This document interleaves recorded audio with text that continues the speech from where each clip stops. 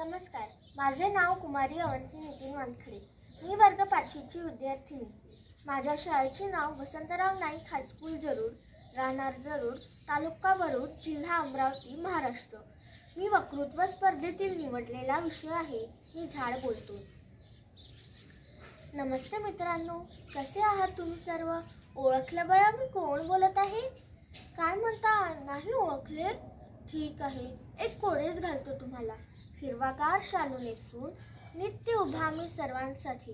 ऊन वारा पाऊस झेलत फळे फुले देतो तुम्हाला. आता ओळखले ना? मी तुमचे लाडके झाड बोलतोय. तसं तर मी पिढ्यान पिढ्या गप्पच उभा आहे.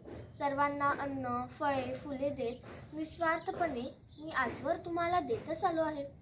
अगदी प्रेमाने आनंदाने आणि निमूटपणे काहीही न बोलता. परंतु आता माझे संयमाचा बाण फुटत आहे.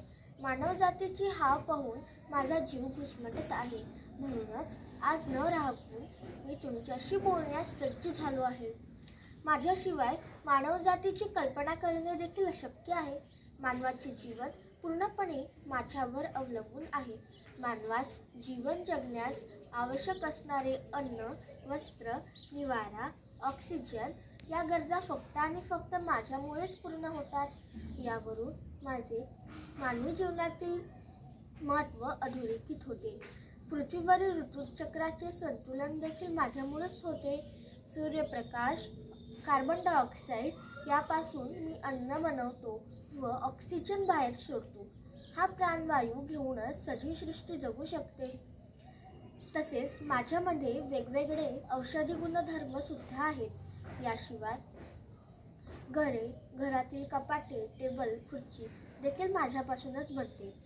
तुम्ही जी पुस्तके वाचता ज्या वहीत लिहिता तो कागद देखील माझ्यापासूनच बनलेला असतो. तुम्हा सर्वांना स्वादिष्ट लागणारे गोड गोड फळे देखील मीच देतो व सुगंधी फुले देखील मीच देतो. उन्हाळ्याच्या दिवसात जेव्हा शरीर घामाने थकतं तेव्हा लोक माझ्या सावलीत येऊन बसतात.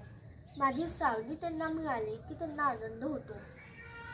तसेच गुरे गुरे वासरे पशुपक्षी यांना देखील व तुम्हाला देखील मी सावली देतो. कधीही काहीही नाही मागितले मी तुम्हाला परंतु आज हक्काने बजावून सांगतो तेही तुमच्याच भल्यासाठी. तुम्ही लोक स्वार्थासाठी माझी माझ्यासारख्या अनेक झाडांची कटाई करता परंतु त्यामुळे मानवजाती संपुष्टात आलेली आहे. म्हणून लक्षात घ्या मी जगलो तरच तुम्ही जगाल नाहीतर पूर्ण सजीवसृष्टी संपुष्टात येईल. पुढील कवितातून मी माझी व्यथा व्यक्त करणार आहे. सोपा नसतं झाड होणं मातीमध्ये रुजून येणं सोपा नसतं झाड होणं मातीमध्ये रुजून येणं एका एका श्वासासाठी आभाळाचं ऋण घेणं एका एका श्वासासाठी आभाळाचं ऋण घेणं. सूर्य डोई घ्यावा लागतो तशात कोणी सावली मागतो. सूर्य डोई घ्यावा लागतो तशात कोणी सावली मागतो. बसेल त्याला झुळकभर वारा सुद्धा द्यावा लागतो. बसेल त्याला झुळकभर वारा सुद्धा द्यावा लागतो. सोपं नसतंच सोपं नसतं मागेल त्याला मागेल ते देत जाणं. सोपं नसतं मागेल त्याला मागेल ते देत जाणं. सोपं नसतं झाड होणं मातीमध्ये रुजून येणं. सोपं नसतं झाड होणं मातीमध्ये रुजून येणं. शेवटी एवढंच म्हणेल झाडे जगवा झाडे लावा. हा एक निश्चय करा की वाढदिवसाला वगैरे एक झाड आपल्याकडून लावले गेले पाहिजे. धन्यवाद.